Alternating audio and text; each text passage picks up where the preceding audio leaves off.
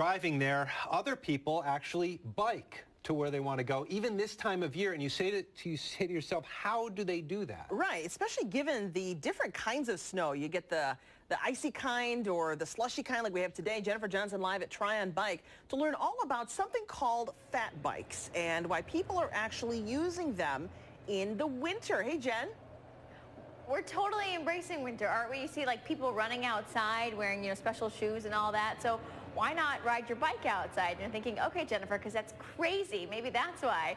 But I want to talk about the bikes. You look at these and you're like, that looks normal. This because it is. It's a mountain bike that we've known for so long. The uh, tires are two and a quarter inches. That's not a fat bike. You ready to meet a fat bike? We're going to come on over here. This is a fat bike. This is Blake, who is a general manager here at Tryon Bike. This is his bike, so I need to be careful how much I actually touch it. You can tell it's his pride and joy. How, how big is this? That is five inches. Five inches, so double in size. Double in size. what is on a mountain bike. Yep.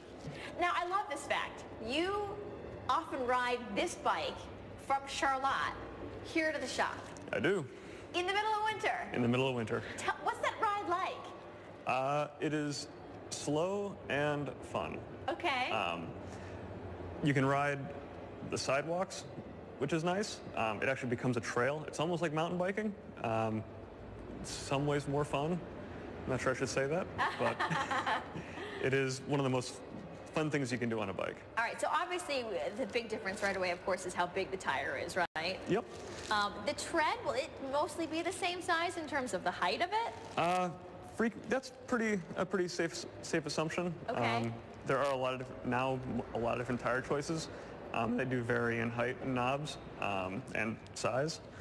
Uh, there are some that are much smaller and very dense, some that are uh, more sparse and much burlier. I love this too. Um, I'm on the wrong side, of course, but you think about like your, imagine your hands being exposed in the winter, that'd be freezing.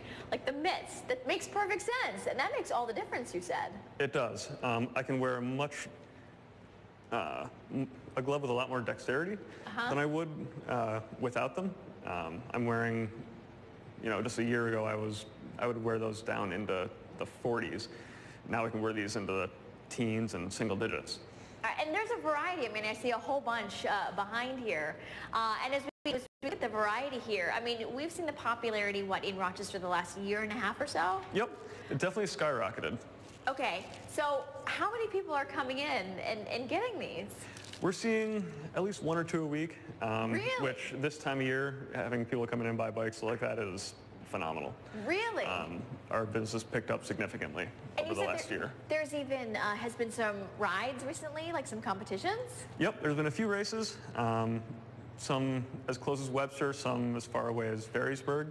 Okay. Um, next weekend there is a race out in uh, on the Tug Hill Plateau, which is oh. supposed to be oh. phenomenal. Oh my gosh! You don't think March Tug Hill Plateau and a bike ride necessarily? no, you don't, but you do now. One of the nice things about here, we were talking to, what do you call this, the Wrench Club? The Wrench Club. Uh, so for people, what, pay $35? $35 a year, and they have access to all the tools you would normally find in a bike shop. Um,